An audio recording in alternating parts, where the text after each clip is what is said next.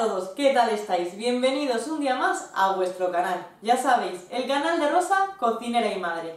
Hoy vamos a preparar unas carrilladas en salsa, unas carrilleras en salsa. Una receta muy sencilla, de esas de toda la vida y que os aseguro que quedan buenísimas. Esta carne es una carne muy suave, muy cremosa y que es perfecta también para los niños, ya veréis.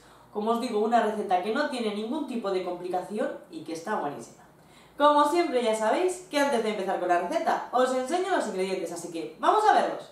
Vamos a necesitar de 12 a 15 carrilleras, estas son de cerdo.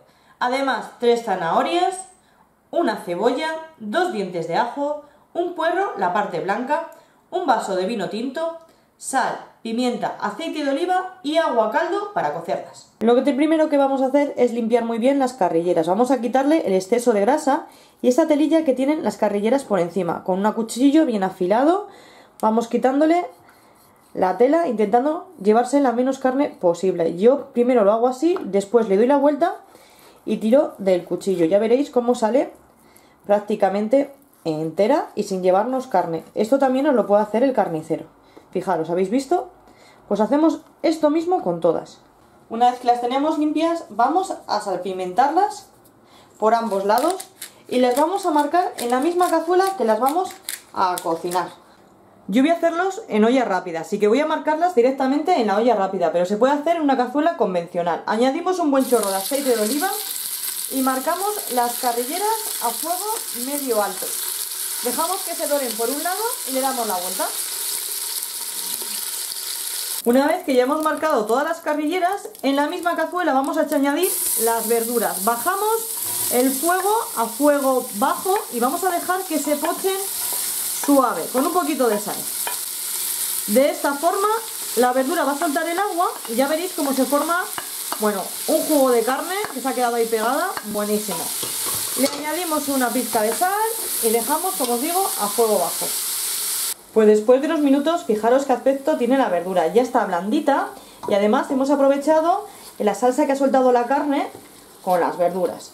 Le voy a añadir un vaso de vino tinto y vamos a dejar que reduzca prácticamente a seco. Nos puede llevar unos 5 minutos. Una vez que el vino ha reducido, echamos de nuevo las carrilleras y fijaros también el jugo que han soltado con mucho cuidado. Y ahora cubrimos con agua. Como lo voy a hacer en la olla rápida, tan solo vamos a cubrir justo hasta que cubra las carrilleras. Si lo hacéis en una cazuela convencional, de forma tradicional, tendréis que añadirle bastante más agua. También le vamos a añadir una pizca de sal, ya que sabéis que el agua es insípida.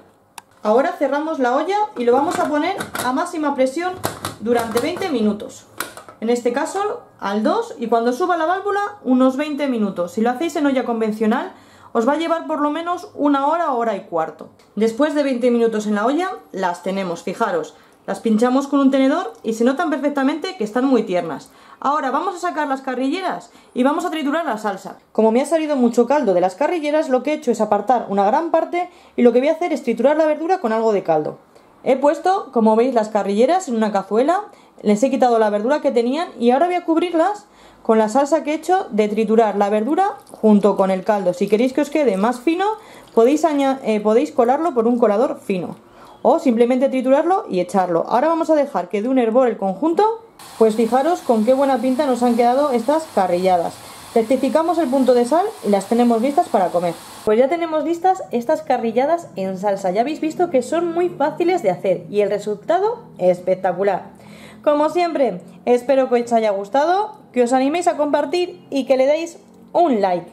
Y aquellos que todavía no estáis suscritos, animaros a suscribiros para ver un montón de recetas más. Ya sabéis que nos vemos dentro de muy poquito con otra nueva receta. Chao.